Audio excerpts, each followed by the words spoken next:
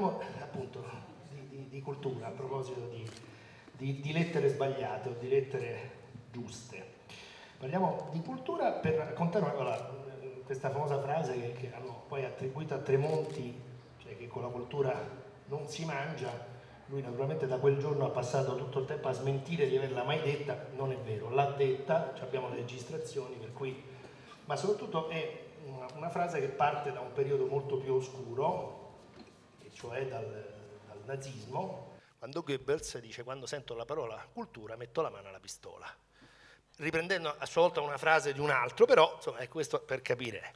Ora non è che siamo tornati naturalmente a quel tipo di, di tragedia, però dobbiamo sempre stare in guardia perché la cultura stranamente, in un paese come questo, a maggior ragione, è sempre la cosa che viene tagliata prima, viene tagliata eh, come una, dice, beh, dobbiamo tagliare qualche cosa, beh, cominciamo da lì, in genere dalle pensioni, dalla cultura, insomma, sono delle cose che poi invece in realtà per la qualità della vita delle persone sono fondamentali, tant'è che spesso e volentieri quando c'è un'offerta culturale importante, anche cara, la gente fa carte false per andarsi a vedere una certa mostra in un'altra città e viaggiare in Italia non è una cosa da poverissimi, e non so, c'è una bella mostra a Torino, la gente fa follia per andare e, e magari rinuncia a cose invece di tutti i giorni, taglia altri, altre spese. Per cui in realtà non è vera questa cosa, è una cosa molto vissuta dal punto di vista del pubblico, del, del settore pubblico, ma non è vi,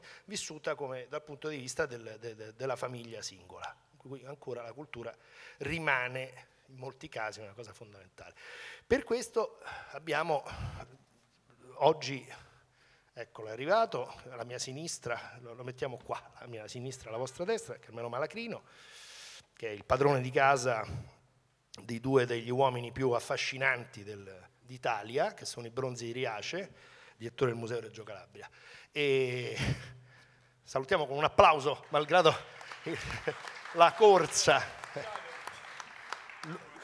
Ciao. L'unico calabrese presente a questa, eh, noi tre siamo siciliani, naturalmente come tutti quelli che abitano più vicino è arrivato per ultimo, anche qua un grande classico. Allora, per far questo volevo cominciare a, a parlare con, eh, con loro di, di, delle strutture che loro gestiscono. E per cui partirò eh, alla mia destra da Giuseppe Marello che dirige il, il parco archeologico di Agrigento, templi più famosi del mondo. E siccome negli ultimi anni avete fatto una serie di rivoluzioni all'interno di, di, di, quella struttura per raccontarla al meglio, io vorrei capire da te, va bene che hai una bigliettazione enorme, perché voglio dire, io adesso non mi ricordo quanti biglietti fate l'anno, ma insomma, io mi ricordo l'ultimo conto che vidi intorno ai 700.000 e, passa l'anno di, di, ecco, credo che siete cresciuti. Allora, qual è? Cosa, co, come siete riusciti adesso a innestare una marcia in più? Allora, intanto buonasera, grazie per l'invito, grazie al direttore Gaetano Savatteri, nostro conterraneo, diciamo. Eh, allora, che cosa è successo? Che eh, intanto eh, il Parco della Valle dei Templi è il primo luogo della cultura che gode di autonomia eh, gestionale e finanziaria. È diciamo, un'anticipazione che eh, capita rare volte diciamo che la regione eh, siciliana in forza del proprio statuto ha fatto rispetto a poi a quello che eh, un po' ehm, adesso diciamo eh, con eh, la riforma Franceschini è un modello che in qualche modo eh, si è esteso al resto d'Italia.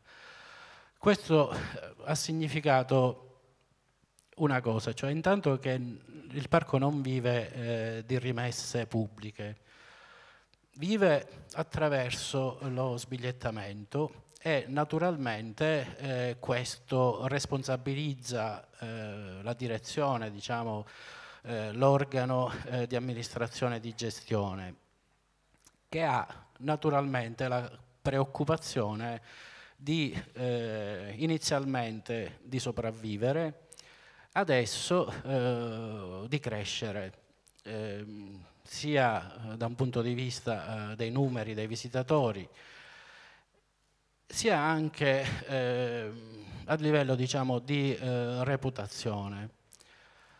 E come è avvenuto? È avvenuto diciamo, attraverso... Intanto, scusa, sì. dimmi, dimmi una cifra, io Sì. ho detto 700.000, tu dici No. siete un po' cresciuti, No, Quanto- al- al- quanti biglietti allora, state? Sì, 700.000 nel 2016, l'anno scorso ott- 870.000 con una crescita quasi del 25%, siamo stati il sito a livello nazionale che è cresciuto di più, un, un tantino di più della Reggia di Caserta che ha avuto pure un, un grande exploit. E quest'anno contiamo di arrivare al milione, penso che ce la possiamo fare perché il trend è anche buono, quest'anno siamo a oggi al 18,50% in più di crescita, quindi se lo manteniamo arriveremo alla gognata meta. Eh, per cui di cultura si può mangiare. Si può mangiare, Allora, ma cominciamo all'antipasto, sì. il primo, almeno quello. Ovviamente un altro dato Eh. importante è, è, dire, gli incassi oltre al numero di visitatori. Siamo passati da 3 milioni e 3 nel 2012 quando sono arrivato io alla direzione ai 6 milioni e passa dell'anno scorso. A questo si sommano anche eh, iniziative ehm, di concessione degli spazi. Abbiamo avuto la fortuna, diciamo così, di ospitare per esempio per tre anni di seguito eh, il Google Camp, quindi mh, i vertici Con di, di polemiche infinite. Google. Polemiche, Vabbè, ma Eh. alla fine, come dire, eh, abbiamo cercato di mantenere... Perché tanto se tutto- lo fai ti pole- polemizzano perché dici ah un Ah, posto, sì, se cioè, non lo se non fai, lo fai perché- ecco i perché soliti sì, provinciali. esatto. Tra l'altro abbiamo adeguato immediatamente il nostro regolamento tariffario, Eh. quindi per, eh, fondamentalmente per tre ore hanno pagato 100.000 euro. Che insomma, voglio che- dire, che insomma, non è, voglio dire, non è che non è proprio- male. non è che si sono alzati gratis. ecco. E questo ha fatto anche, come dire, eh, da volano anche per altre iniziative. Abbiamo avuto anche un'iniziativa di Amazon che ha presentato un nuovo prodotto. Eh, Adesso Beyoncé se fa- fa- non si sa neanche quanto ha pagato per fare il video al Louvre eh, Certo. col marito. Vediamo pure se lo facessero anche nel Tempio della Concordia. no, voglio dire, compatibilmente Vediamo che diciamo, succede. Non, eh, non impedendo naturalmente la visita normale, fa- facendolo oltre l'orario di lavoro, con tutti i crismi necessari.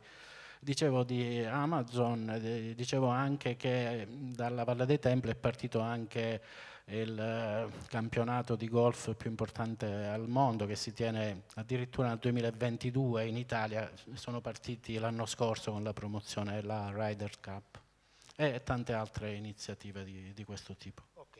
Allora, così, questo, facciamo intanto un primo giro. Eh, il nostro secondo eh, ospite, Carmelo Malacrino, direttore del Museo Archeologico di Reggio Calabria e padrone di casa dei bronzi di Riace. Questo insomma, va, va sempre ricordato. Allora, voi invece, da quando lei è stato nominato eh, con questa ondata di, di direttori nuovi messi a Franceschini, cosa è successo? Cosa- come, come avete cambiato diciamo, quello che avete trovato? Come state cercando di cambiarlo?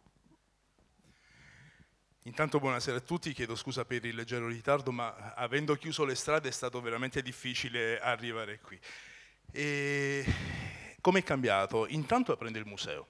Vorrei ricordare che eh, alla- al mio insediamento, che è stato il primo ottobre 2015, il museo era ancora chiuso, era chiuso dal 2009, in una situazione un po' di stallo dal punto di vista della- dell'allestimento. Il, il primo impegno ovviamente è stato quello di riaprire il museo, lo abbiamo fatto eh, completando l'allestimento, completando tutti gli apparati eh, didattici e eh, da non dimenticare restaurando o comunque intervenendo su tutti i reperti perché eh, negli anni precedenti eh, si erano fatti tanti, eh, tanti lavori, però questo aspetto di eh, intervenire sulle collezioni, sia dal punto di vista cons- conservativo che poi anche della leggibilità da parte del grande pubblico, era passato un po' in secondo piano. Quindi la prima cosa è stata riaprire il museo, abbiamo fatto, è stata una festa per la Calabria, credo, il eh, 30 aprile 2016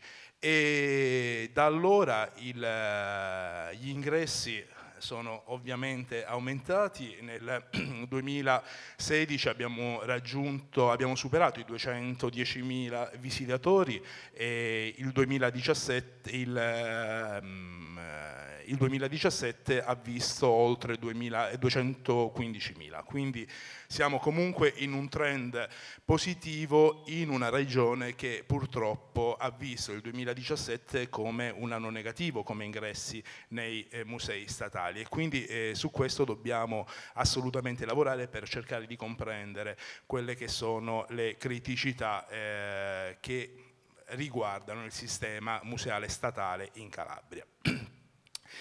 Cos'altro abbiamo fatto? Eh, il passaggio successivo è stato riconquistare il legame con il territorio perché eh, il Museo Archeologico eh, Nazionale di Reggio Calabria, lo dobbiamo sempre ricordare, non è il museo di Reggio Calabria, ma il museo della Calabria, il museo nel quale un visitatore calabrese, italiano o straniero percorre la storia dell'intera Calabria, non soltanto la storia della città dello Stretto. Quindi eh, si parte, noi abbiamo un allestimento permanente su quattro livelli, si parte dalla preistoria, si attraversa la fase greca e si giunge al, al tardo ellenismo e poi la fase romana con, eh, con Reggio Calabria. Però veramente si conosce tutto il territorio, si, abbiamo l'Alto Tirreno Cosentino, l'Alto Ionio Cosentino, la zona dell'Istmo, eh, tutta la provincia di Crotone, abbiamo il, la provincia di Reggio Calabria, quindi è il museo della regione.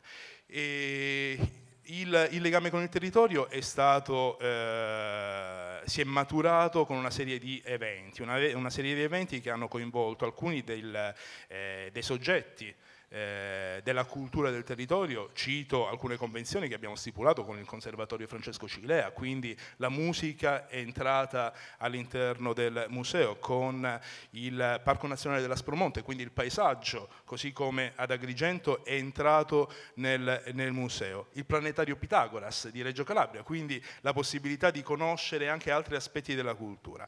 E, e in questo devo dire che il, la comunità ha risposto benissimo e, e poi ci siamo rivolti all'altra sponda dello stretto, eh, quindi la vicina Sicilia, la Sicilia orientale, eh, abbiamo da poco chiuso una mostra appunto su Reggio e Messina, eh, due città a controllo dello stretto, proprio per far comprendere che lo stretto non divide ma unisce, lo ha sempre fatto nella storia. E prima di concludere, un altro aspetto che eh, abbiamo aperto la biblioteca, la biblioteca perché il museo deve essere non solo luogo di esposizione ma deve essere luogo di ricerca eh, perché poi ritorneremo sul discorso eh, con la cultura non si mangia immagino perché eh, è un argomento assolutamente interessante da, da affrontare e stiamo eh, intervenendo in maniera eh, molto attenta sul riordino dei depositi, eh, quindi delle collezioni in deposito.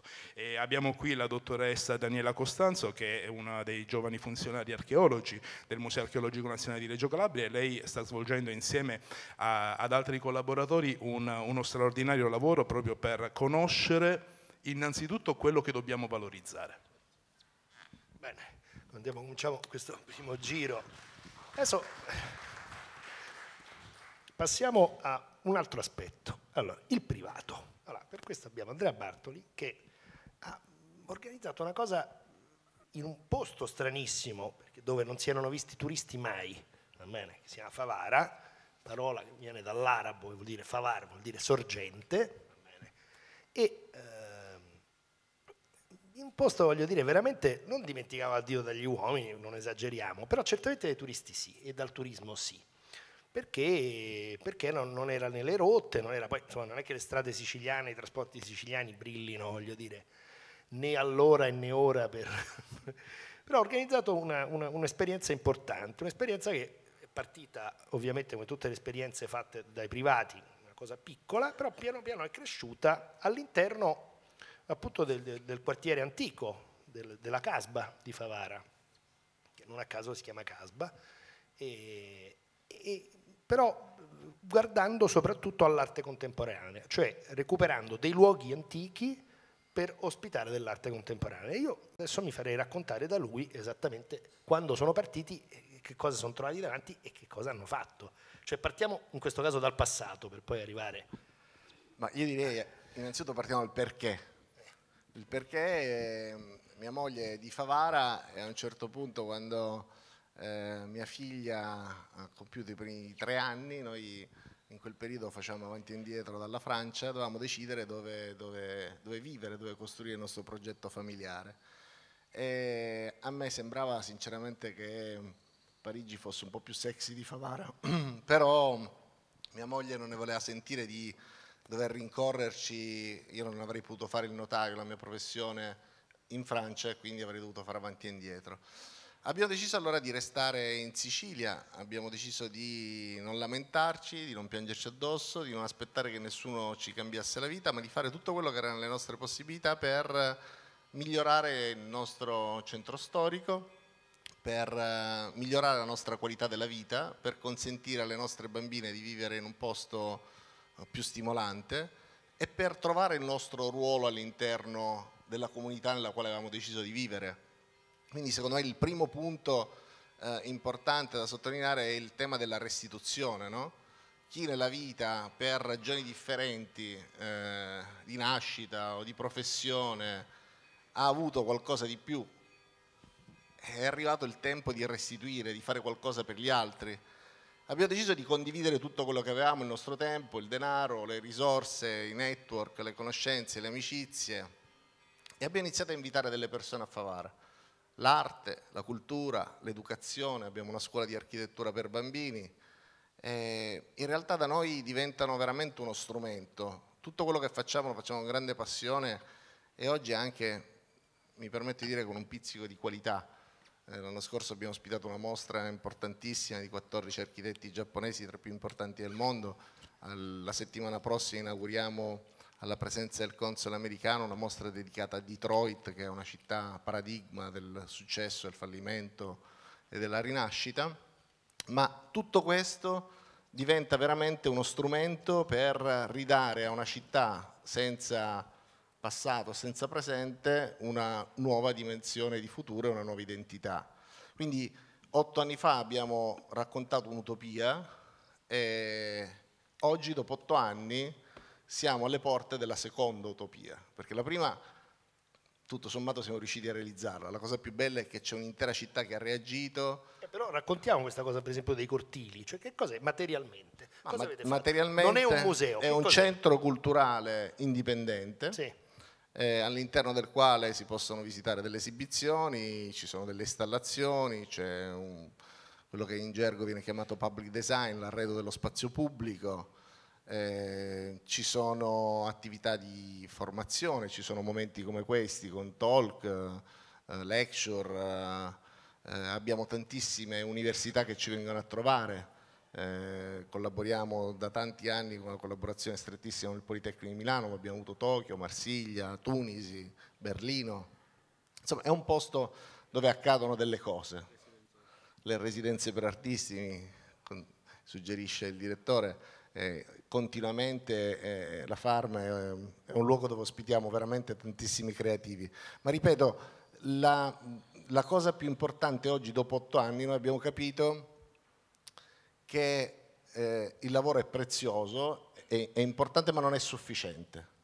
Allora la nuova utopia è come, come facciamo a uh, immaginare il futuro di questa città. Noi siamo abituati a pensare che questo lavoro spetti al pubblico, no? al sindaco, alla giunta o alla regione. Ma quando questo non accade, no? Che facciamo? Continuiamo a lamentarci, a scrivere i post su Facebook, ad aspettare che qualcuno ci cambi la vita oppure decidiamo di diventare noi attori eh, che si prendono cura innanzitutto di sognare una città differente e in secondo luogo di progettarla e poi di costruire le strategie. E allora ti racconto brevissimamente questa seconda utopia. La seconda utopia si chiama Favara Società per Azioni Buone. Stiamo immaginando che nei prossimi dieci anni ogni cittadino di Favara possa essere proprietario di un pezzo di parcheggio. Quanti sono i cittadini di Favara? Oggi sono 30.000 e stiamo immaginando che nei prossimi sette anni diventino 35.000 e che possano aumentare i 5.000 in 5.000 nei prossimi dieci anni, cioè per arrivare a 50.000 abitanti nel 2050. È molto ambizioso, come progetto, certo quando lo raccontavo 15 giorni fa in Cina, a Macao, eh, invitato a una presentazione di Farm, mi sono sentito un po' ridicolo perché lì prendo una città in campagna, non c'è nessuno e in 20 anni ci mettono 7 milioni di persone. No? Però dobbiamo immaginare uno sviluppo sostenibile rispetto anche a quelle che sono le risorse del nostro territorio che sono veramente povere. E allora eh, si è formato un nuovo governo in questo paese, tutti quanti ci auguriamo che questo governo faccia delle cose straordinarie, ma io chiedo a tutto il pubblico che è qui presente, ma prima che questo governo possa impattare sulla Mezia o su Catanzaro o su Favara, noi siamo morti di nuovo, signori. Cioè così. Allora o acquisiamo consapevolezza che anche laddove il pubblico non riesce a arrivare, il privato si attiva, si organizza e fa tutto quello che è nelle sue possibilità per migliorare le condizioni di una città, oppure saremo costretti a lamentarci ancora per tanto. Allora io volevo dirti, volevo rassicurare. volevo... Eh? Sì. Eh, sì, sì, adesso allora, al, al, secondo giro ci facciamo spiegare precisamente. Comunque, per risponderti volevo rassicurarti perché intanto io nel mio piccolo una cosa posso farla. Io martedì impatto sul nuovo ministro dei beni culturali che devo intervistare a Spoleto. Io glielo chiedo. Tanto è un incontro pubblico, vediamo che ne viene fuori, poi ti telefono, dico, vediamo che ha detto. Cioè, quando, dico, forse la domanda sarà quando, quando impatterà su Favara. Esatto, quando arriva a Favara, magari non sa neanche dov'è, però glielo spiego io, glielo spiego io. Allora, intanto io eh, tornerei adesso da, da, da Giuseppe Varello e, e, e, gli chiederei questo. Allora, eh, parlavi prima di, di, incontri importanti, appunto eh, Google, eh, cercare di fare. Allora, quanto si può mischiare anche per, per trovare, voglio dire, risorse, quanto si può mischiare il pubblico con il privato? Perché poi, torniamo sempre, la cultura si mangia, ma tutte queste strutture hanno dei costi anche ragguardevoli, hanno anche una ricaduta occupazionale enorme voglio dire, sul territorio. È incredibile che in Italia la prima facoltà frequentata non sia una facoltà di beni culturali, ma siano tutte altre. Insomma. E, e, allora, voglio dire, quanto questo può, può, pensando a dei numeri proprio? Sì, cioè, intanto stiamo ehm, costruendo diciamo, anche un progetto ehm, di inclusione e di eh, rapporto con, eh, con eh, il privato, che eh, ha avuto anche diciamo, dei riconoscimenti. Mm, per questo progetto abbiamo vinto l'anno scorso il premio nazionale del paesaggio e proprio ieri sono tornato dalla Lettonia dove abbiamo ricevuto una menzione da parte del Consiglio d'Europa. Il progetto si chiama eh, Agrigentium, cioè abbiamo giocato un po' sul, eh, sul nome eh, romano della città che era Agrigentum, eh, mettendo diciamo, in relazione eh, i campi diciamo, con, eh, con, la comunità, quindi Agrigentium. In che cosa consiste? Nella possibilità di dare in concessione eh, parti a vocazione agricola del, della Valle dei Templi che eh, ricordo ha un'estensione notevolissima, il parco è ampio 1300 ettari, eh, di cui circa 400 sono il cosiddetto cuore del parco in cui naturalmente avviene la visita eh, classica eh, lo stiamo ampliando anche perché abbiamo avuto la possibilità di fare intensamente, soprattutto anche con i fondi che derivano eh, dallo sbigliettamento, ma anche con finanziamenti europei, eh, due importanti scavi che hanno portato a, alla luce il tanto agognato teatro di Acragas e anche eh, una terma all'interno diciamo, del, del, quartiere ellenistico romano, eh, che è una novità anche per, per Agrigento. Quindi ritornando al progetto di eh, recupero del paesaggio, cioè, ovviamente il tema è complicatissimo, cioè come si restaura, come si mantiene eh, il paesaggio nella sua conformazione eh, storicamente più eh, leggibile, più interessante, che alla fine eh, per quanto riguarda Agrigento è quella del, del, dell'assetto preindustriale. E, eh, quindi attraverso una scommessa, sfidando eh, in qualche modo eh, il, il, pubblico a partecipare a questa azione attraverso un bando che era ehm, indirizzato verso tre ehm, target specifici. Uno, eh, il livello sociale, quindi la possibilità di realizzare orti sociali, quindi con eh, le scuole, per gli anziani, per le cooperative. Un altro eh, elemento riguardava eh, il recupero di persone svantaggiate attraverso le pratiche agricole, quindi è un campo eh, molto interessante diciamo, eh, che si sta eh, sviluppando, e l'altro invece era quello più eh, esclusivamente produttivo, quindi mh, indirizzato più verso le aziende del, del territorio e sta eh, funzionando, nel senso che eh, abbiamo già affidato 150 ettari a, eh, relativamente diciamo, al settore produttivo a delle aziende che eh, coltivano e producono eh, olio, vino e adesso anche il miele. Eh, si potrà avere l'olio della Valle già, dei Templi, il miele della Valle dei Templi, cioè sì, sì. uno se lo porta via con un marchio sì, il riconoscibile. marchio l'abbiamo brevettato, si chiama Diodoros, in onore naturalmente di Diodoro Siculo, è già in produzione, quindi se si vuole lo si può già comprare. Tra l'altro l'olio eh, siamo riusciti a farlo vendere anche da Italy a Roma, il vino avuto, abbiamo presentato al Vinitali due anni fa, eh, ha avuto anche un uh, riconoscimento, la medaglia d'argento al concorso internazionale di Bruxelles.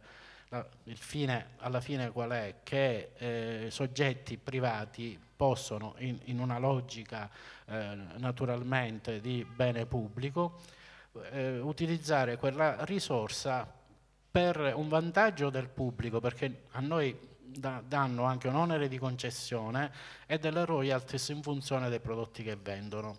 Per le aziende naturalmente è la possibilità di vendere un prodotto che è ad altissima qualità sul piano della produzione ma che racconti anche eh, 2600 anni di storia. Certo, e poi sia forte quel, quel come si dice, quel, quel, marchio lì, quel brand lì. Ok. Allora, al Museo di Reggio Calabria non è che possiamo coltivare sul tetto, voi invece... Stiamo provando. voi che cosa fate? No, vabbè, noi non abbiamo queste, queste, possibilità, ovviamente tutto quanto viene commisurato su quelle che sono le condizioni della, della struttura. Il nostro è un museo eh, con un suo perimetro eh, limitato all'interno di una città che ha delle criticità dal punto di vista eh, infrastrutturale però eh, esattamente con, nella stessa direzione ci stiamo muovendo per quanto riguarda ehm, diciamo, l'implementazione delle entrate tramite eh, oneri di concessione degli spazi, ovviamente noi non arriviamo a 100.000 euro perché eh, ci sono anche dei limiti, da noi eh, magari si spenderebbe anche 100.000 euro per organizzare una cena nella sala dei bronzi di Riace, ma questo io non lo autorizzo e quindi non, eh, non si può assolutamente fare. Vedo la dottoressa Costanzo che annuisce. E, ma non, non, è una presa di posizione la mia, e, e noi come primo obiettivo abbiamo eh, la tutela, la conservazione del, del, patrimonio, la responsabilità sulla conservazione del patrimonio e la trasmissione del patrimonio alle prossime generazioni. Quindi si può fare tutto, però assicurare... Io vi voglio dare però una notizia. Mm. L'altro ieri sera un pezzetto di, del parco di Villa Medici, un emiro arabo che si è sposato, gli ha lasciato 75.000 euro per sposarsi in un pezzetto del giardino Villa Medici a Roma. E devo dire, i francesi ma io non, non allora, ho nessuna. Eh. Ehm, non sono contrario a ricevere 75.000 euro se qualcuno vuole sposarsi al, al, Museo Archeologico Nazionale di Reggio Calabria. Però, Dico semplicemente non lo può fare all'interno della Sala dei Bronzi di Riace. Noi eh, diamo in concessione Piazza Paolo Orsi, che è diventato uno dei luoghi della cultura eh, in città, diamo in concessione la terrazza panoramica facciata sullo stretto, con la quale eh, appunto eh, ormai abbiamo raggiunto eh, buone cifre e, curiamo in maniera molto attenta gli oneri di concessione e dell'uso delle immagini, perché quello è un altro eh, degli aspetti da tenere in considerazione. Anche noi abbiamo una nostra linea, eh, siamo abbiamo una nostra linea editoriale, quindi eh, pubblichiamo come Museo Archeologico Nazionale di Reggio Calabria eh, tutti i cataloghi con un'ampia parte che rientra nelle, eh, nelle, nostre casse. E poi procediamo, credo, eh, non siamo molti in Calabria come musei, tramite l'Art Bonus a reperire eh, altre, eh, altri supporti da parte dei privati per la conservazione del patrimonio, in particolare per quello. Questo volevo chiederlo sia a lei che poi a Giuseppe, ma ehm, voi quando vi trovate di fronte, o se mai vi siete trovati di fronte, ma credo proprio di sì, a grandi sponsor privati, va bene?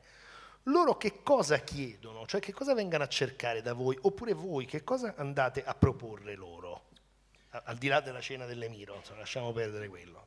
Allora, al, mh, al, momento non abbiamo avuto grandi richieste di grandi finanziamenti, però noi stiamo cercando di portare avanti un altro progetto, un progetto più capillare, un progetto che possa coinvolgere il territorio, perché non è facile in una regione qual è la Calabria trovare eh, un mecenatismo importante, ma anche piccole, eh, piccoli granelli da parte di eh, chi matura una sensibilità verso il patrimonio pubblico sono assolutamente importanti. Eh, basta, eh, il portale Art Bonus è un portale pubblico, un portale di evidenza pubblica, quindi è aperto a tutti e potete controllare tutti come stiamo cercando di procedere per reperire eh, risorse per la conservazione dei progetti. Facciamo piccoli progetti e vediamo che le persone rispondono, eh, rispondono dalle università alle associazioni, ai privati, gli imprenditori. Ora ad esempio abbiamo eh, Confagricoltura cultura che sta manifestando una particolare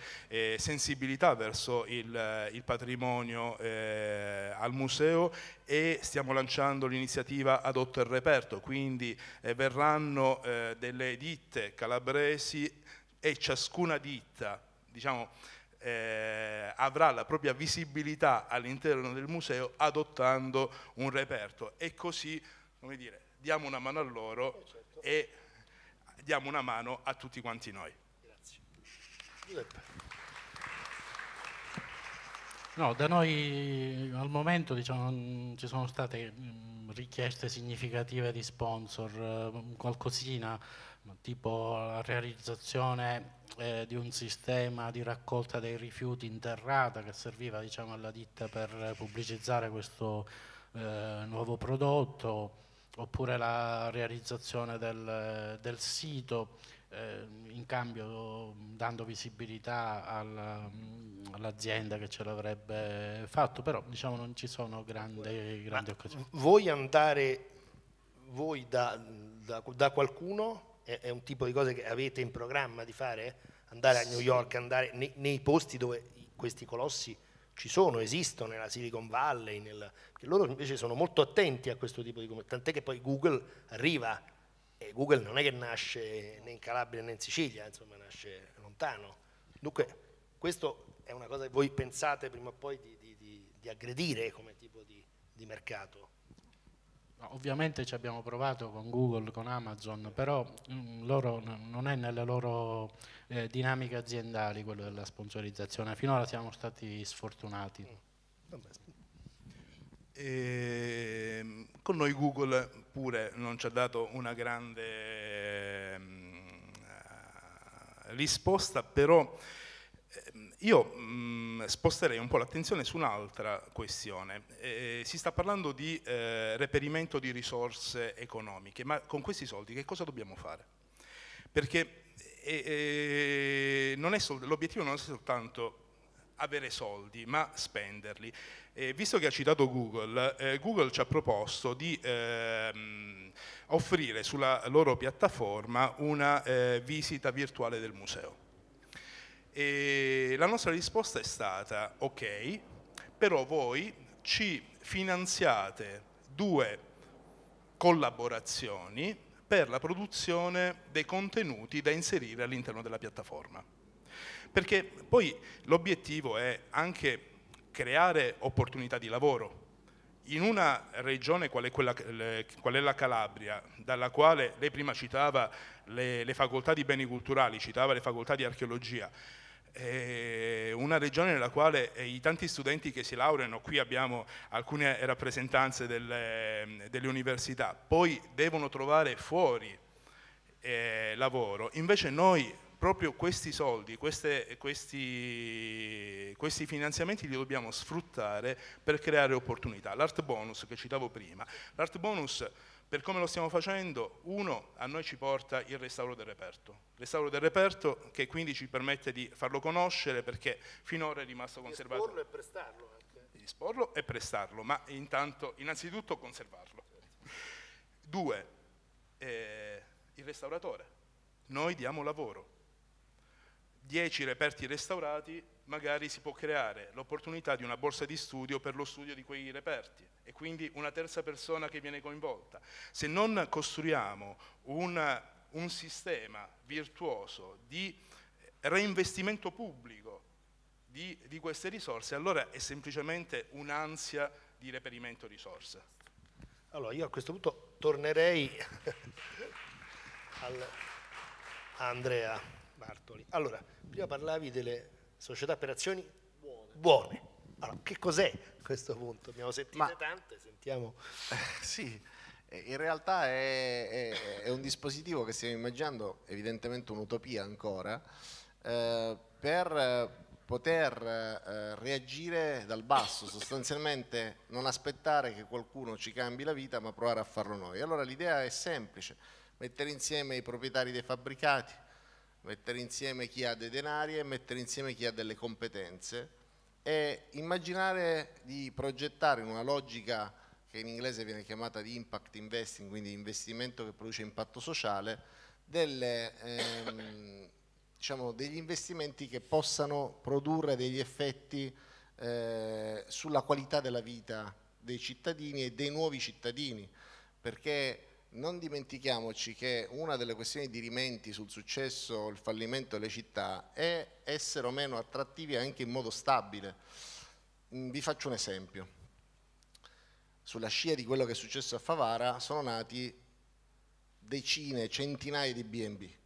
E allora questi B&B due mesi l'anno lavorano tutti, gli altri dieci mesi l'anno sono insomma, un po' più sofferenti. Il nostro direttore della scuola di architettura per bambini fa fatica a trovare un alloggio a un affitto, come dire, eh, normale, che però sia curato in modo carino. E... Allora il tema è che ci vuole una cabina di regia che indirizzi le scelte di un'intera comunità. Ora, chi è che fa questo lavoro? Nessuno. Chi è che pensa il futuro delle scelte? Chi è che pensa quello che vogliamo essere nei prossimi dieci anni? A Reggio Calabria, ad Agrigento o a Favara? Meno male che non è detto Roma. No, no, no, no, a Roma bisognerebbe poi ecco, iniziare a pensarlo per quartieri. Io credo che spesso purtroppo anche i nostri amministratori, anche con tutta la buona volontà, non abbiano le competenze per fare questo e in realtà nelle nostre città c'è tutto. No? Vi faccio un esempio di un dato bestiale. Una cittadina come Niscemi, mi ha sconvolto questo dato, ha depositi bancari per 80 milioni di euro. Quindi immaginate quanti depositi bancari ci sono ad esempio alla Mezia. Ora, se ogni cittadino decidesse di investire le proprie risorse non in titoli eh, di società delle quali non conosce nulla perché semplicemente va in banca e dice guarda investi in Eni piuttosto che in Telecom, piuttosto che eh, nel carbone o nel petrolio, no? ma investi sulla tua città.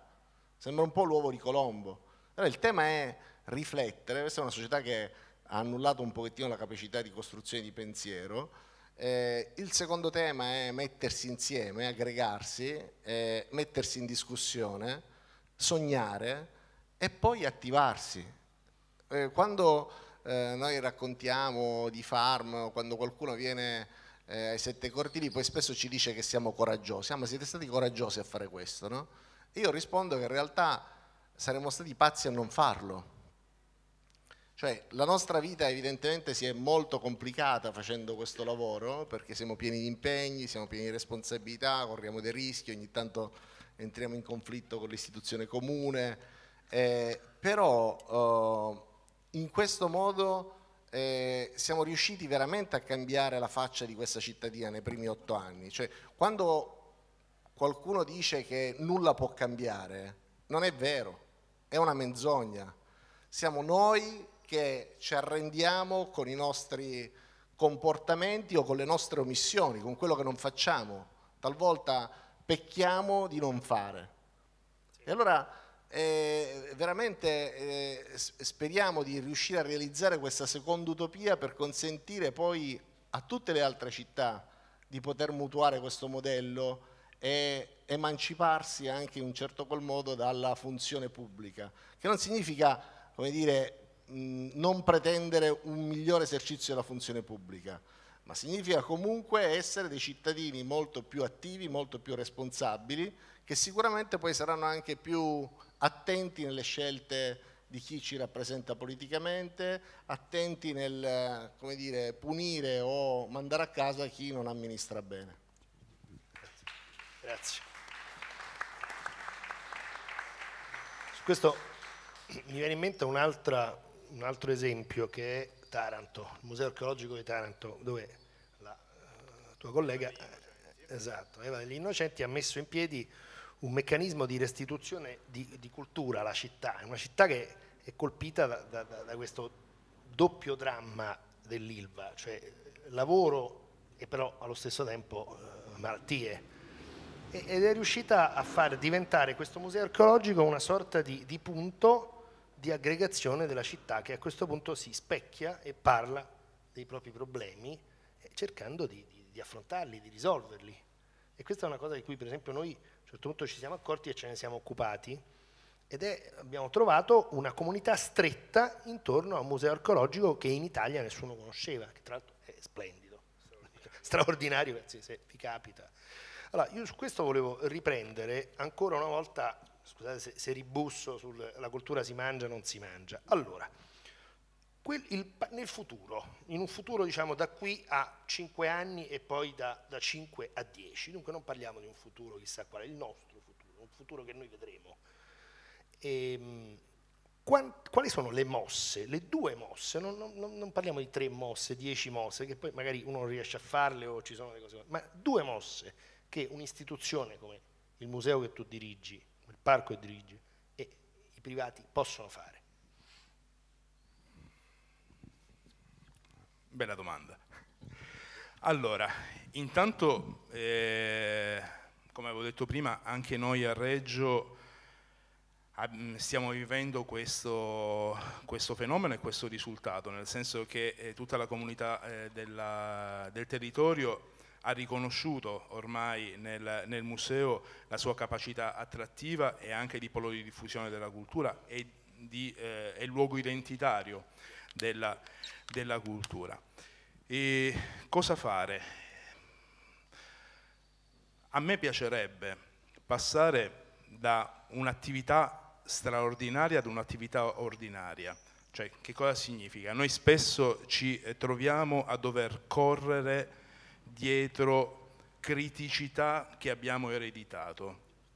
E quindi riportare innanzitutto il museo ad una situazione ordinaria, una situazione stabile dalla quale veramente si può immaginare un futuro più forte.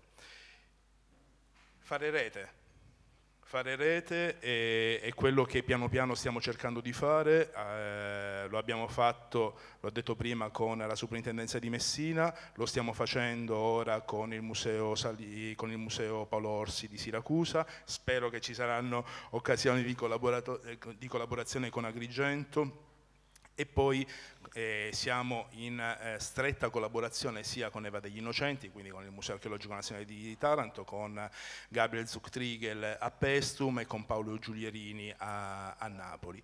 Eh, quindi i quattro grandi musei della Magna Grecia lavorano insieme eh, proprio per immaginare iniziative di valorizzazione di questo brand importante che è appunto eh, la Magna Grecia. E come immaginare il museo fra dieci anni? In, eh, intanto immaginare un museo dinamico, un museo dinamico anche nel suo percorso espositivo. Ormai il museo ha due anni e, e per me è già un museo vecchio. eh, nel senso che eh, un'esposizione permanente non può essere permanente per sempre, ma deve essere un'esposizione permanente dinamica, perché deve continuamente offrire la possibilità di valorizzare altri reperti, raccontare altri temi, far conoscere e quindi attrarre altre sensibilità. E però tanti, tanti, tanti sforzi restano sempre contenuti nei risultati laddove non ci sia un, un supporto dal punto di vista infrastrutturale. Eh, noi siamo la punta della, della penisola, eh, spesso io ora parlo di eh, Reggio Calabria, spesso noi perdiamo una, un flusso di visitatori che lascia la Calabria a Villa San Giovanni per andare in Sicilia. Dobbiamo lavorare su alcune strategie, su alcune strategie che possano eh, conquistare tramite la nostra qualità questi visitatori in modo tale che la bellissima, Vicilia, la, la bellissima Sicilia resti sempre una grande meta ma anche la Calabria non sia soltanto terra di passaggio. Allora, invece a Agrigento loro i reperti li possono ruotare, spostare, tutto, compresi i bronzi, ma tu i templi però non li puoi spostare. E per cui che fai? Che, che ruotili? Che puoi... No, vabbè, intanto diciamo... Adesso avete scoperto il teatro e va bene. Le terme. le terme. No, no, vabbè, come dire, anche noi abbiamo mm, il nostro mm, patrimonio, tra virgolette, mobile. Eh, stiamo lavorando a una mostra mm, per Milano che inaugureremo il 19 che racconterà un po' il rapporto, lo faremo con eh, il, il, Museo Studio eh, Francesco Messina. Eh, il tema è ehm, la connessione eh, tra l'arte moderna, contemporanea e, e la Valle dei Templi. È, la, è, il patrimonio classico, in questo caso naturalmente con la Valle dei Templi, cioè quello del eh, contemporaneo, ora a parte diciamo, eh, i rapporti di frequente collaborazione con, eh, con Andrea, eh, sono stati anche per noi diciamo, una, una, sfida, ma anche per, eh, perché ehm, diciamo, l'aspetto paesaggistico eh, del, di Acragas aveva una sua dimensione anche ehm, nei confronti del, dell'interesse da parte degli artisti, mi riferisco naturalmente ai paesaggisti del, del 7 e dell'Ottocento, dopodiché c'è stata una cesura. Noi stiamo cercando anche di recuperare questo rapporto ehm, ospitando artisti che eh, non utilizzano gli spazi solo come cornice per le proprie opere, ma che realizzano opere site specific, quindi eh, tra virgolette ispirandosi alla, alla Valle dei Templi eh, a vari livelli, diciamo, con un'attenzione per eh, gli artisti locali, ma anche per i grandi artisti. Il giorno eh, 6 di luglio inaugureremo una grande mostra eh, di Jan Fabre eh, che si chiamerà Oracoli e Miti, quindi ovviamente eh, basato su un lavoro costruito da, dall'artista belga proprio sulla Valle dei Templi.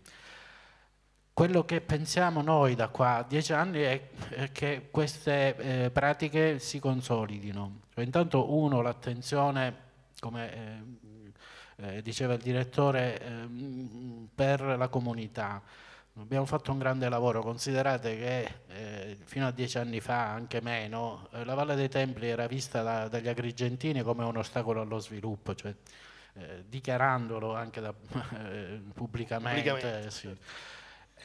adesso l'attenzione è cambiata perché c'è stato un grande lavoro di coinvolgimento delle comunità, delle associazioni a tutti i livelli, financo nella ricerca. Noi gli scavi che, fa che facciamo li facciamo a cantiere aperto, quindi chi vuole, ovviamente nel rispetto delle norme di sicurezza, può assistere e in qualche caso partecipare agli scavi.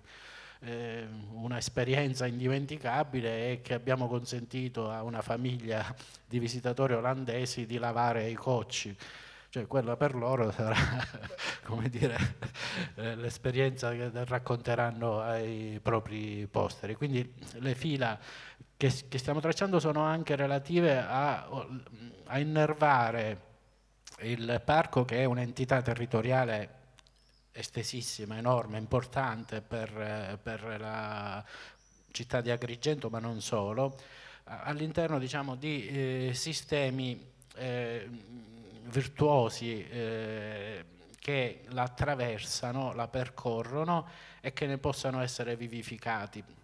L'ultimo esempio è della settimana scorsa, eh, che è la costituzione di una strada del vino che naturalmente passa per la Valle dei Templi, naturalmente utilizza il brand Valle dei Templi e che coinvolge il territorio del Nero d'Avola che va eh, da Menfi fino a Campobello di Licata eh, coinvolgendo diciamo, aziende mh, vinicole eh, di una certa importanza. Il rapporto con la comunità eh, che c'è particolarmente... In questo caso la cultura non si mangia ma si beve. Si beve, sì. ma fa, stiamo facendo pure stiamo producendo pure grano quindi eh, faremo il pane dire, pane e vino intanto no, volevo dire un'ultima cosa relativamente al rapporto con la comunità diciamo. Ora al di là di, di tante cose è bastata una piccola azione cioè quella di istituire un abbonamento annuale eh, al costo politico di eh, 20 euro l'anno per i singoli, 30 euro per la famiglia di, di com comunque composta e di, di, quante persone eh, composta e questo ha significato che abbiamo, tra virgolette, eh, venduto eh, a oggi 600 abbonamenti, quindi ci sono 600 eh, persone prevalentemente della comunità che vengono al parco non solo per, per vedere, per studiare, per analizzare, ma anche per passeggiare, per prendere eh, un caffè, per portare gli amici. Diventa un luogo di tutti i giorni, diventa sì. un luogo che fa parte della tua vita, sì. della tua città e non una cosa isolata che magari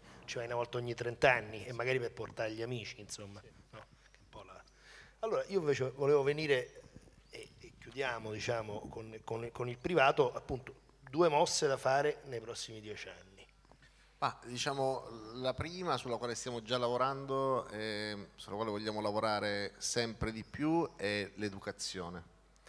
Eh, se oggi in questa assemblea fosse composta dalle persone più potenti del mondo e decidessimo di cambiare il mondo in meglio, eh, da stasera in poi non, non, potremmo comunque farlo perché i problemi sono così tanti e sono così complessi che bisogna ripartire veramente dall'inizio, che sono i bambini.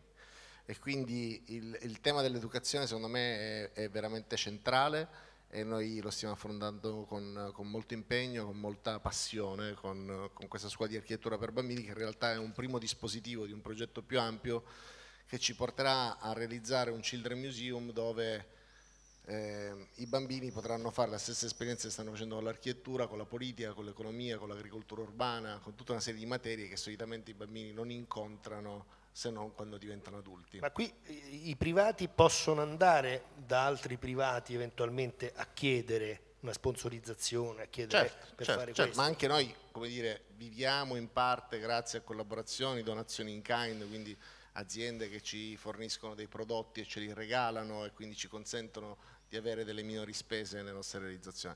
Il secondo obiettivo è quello di, eh, un po' lo accennavo prima, no?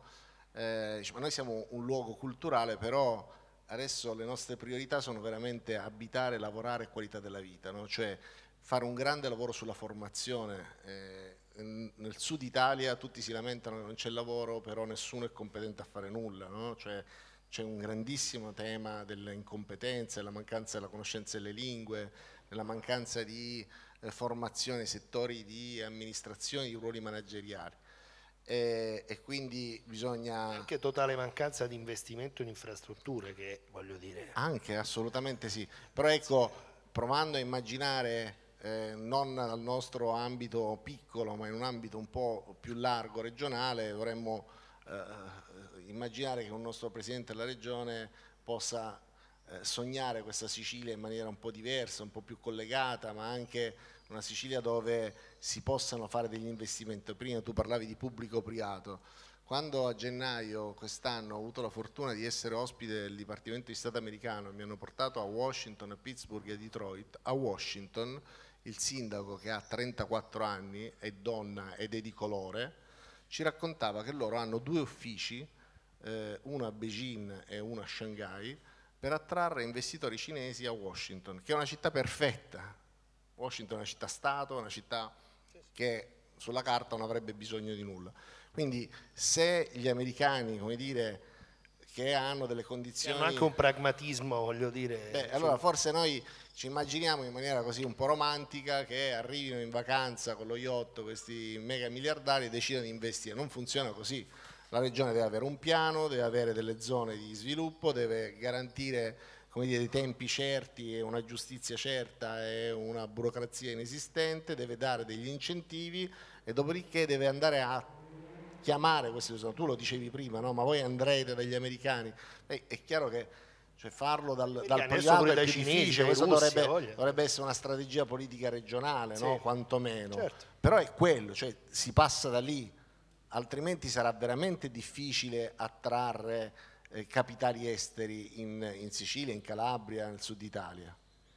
No, io quello che ho visto negli anni eh, è stato questo, da parte, in questo caso della Sicilia, perché essendo regione autonoma si muove che ha uffici di rappresentanza in giro, con delle bellissime campagne di comunicazione, devo dire, oggettivamente bellissime, però fatte a Londra, viste a Parigi, viste in giro, però poi alla fine... Non è, non, è, un tema di comunicazione, esatto. è un tema di strategia complessiva, esatto, sì, ma poi non può esserci un piano solo... di sviluppo, devi sapere, ma, cioè, cosa deve essere sta Sicilia tra 20 o 30 anni, esatto. no? Il cioè, problema è avere facciamo? visione. Esatto, è avere visione, è avere un progetto, è avere delle strategie, dopodiché mandare i migliori uomini a cercare chi queste cose ce le può realizzare esatto. e può avere interesse a realizzarle.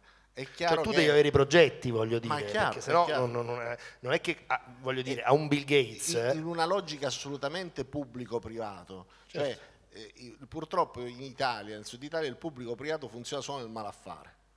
Se invece eh, io devo parlare con eh, il pubblico eh, e costruire un progetto di investimento eh, pubblico-privato diventa pericoloso perché chissà cosa c'è sotto. Invece all'estero, negli Stati Uniti, a Detroit è una città distrutta, sì, quando sì. siamo andati in giro il responsabile dello sviluppo economico di Detroit ci diceva, vedete questi tre edifici, questi sono del comune di Detroit, il comune di Detroit ha speso qui 6 milioni di dollari, ma qui, qui e qui i privati ne stanno spendendo 200 milioni di dollari. Certo. In dire, un progetto costruito insieme il pubblico e il privato, questa cosa da noi non è mai esistita sì, Sarà det- arrivato anche il momento di iniziare a copiare quelli che fanno le cose no, buone. Non solo, no? poi detto fra di noi, Detroit è una città orrenda, cioè, forse è più facile vendere qualche città que- nostra. Dissento, dissento. Tu sei stato a Detroit? Sì, allora, io, io sono stato pure, è una città, capisco, allora, capisco il tuo punto di vista. No, città... par- cioè, par- noi stiamo parlando, de- parlando, delle città italiane, c'è, c'è, c'è, c'è. il confronto è... No, è Detroit, Detroit è una città assurda, giusto per, per, dare due dati per farvi capire quanto è grande Boston, San Francisco e Manhattan non fanno Detroit, rimane uno spazio sufficiente per una città grande quanto Parigi, immaginate quanto è grande. E per nove decimi questa città è in totale abbandono, cioè tu cammini per chilometri e ci sono case, fabbriche, strutture completamente abbandonate, quindi credo veramente un unicum nel mondo è chiaro che non è un posto dove puoi andare per fare turismo, no? quindi capisco il suo punto di vista, dice una città orrenda. In realtà è una città con grandissimi spazi, non solo fisici ma anche mentali, cioè loro stanno, eh, e per questo noi ci facciamo una mostra a Favara, perché per noi diventa di grandissima ispirazione, loro stanno immaginando che nel futuro in questa città, nel pieno centro della città, ci siano enormi frutteti, enormi spazi dedicati all'agricoltura, diventerà una delle prime città agresti del mondo ed è interessante, no? Sì, però l'idea appunto sono intanto stati capaci di ripensarla completamente. A questo punto arriva il discorso del, fundraising, cioè di andare a trovare i soldi, ma su un progetto che già esiste e dicendo a chi li devi mettere tu metti questo per fare quest'altro. Ecco, questo. Va bene, allora se siamo stati così bravi da essere, eh, allora io vi concederei un paio di domande se le volete fare altrimenti se siamo stati così chiari la chiudiamo qua. Qualcuno vuole fare delle domande? Niente, niente chiari, no, chiari, cristallini siamo stati, sono fiero di me. Va bene, allora io ringrazio i nostri tre ospiti e ringrazio voi. Allora, cominciate, allora, venite, andate al Museo di Reggio Calabria che è vicino, poi andate un po' più lontano, attraversate lo stretto e andate a Agrigento e soprattutto a Favara. Andiamo a Favara. È vicino alla Valle dei Templi, guarda. Eh. Bene. Grazie, arrivederci.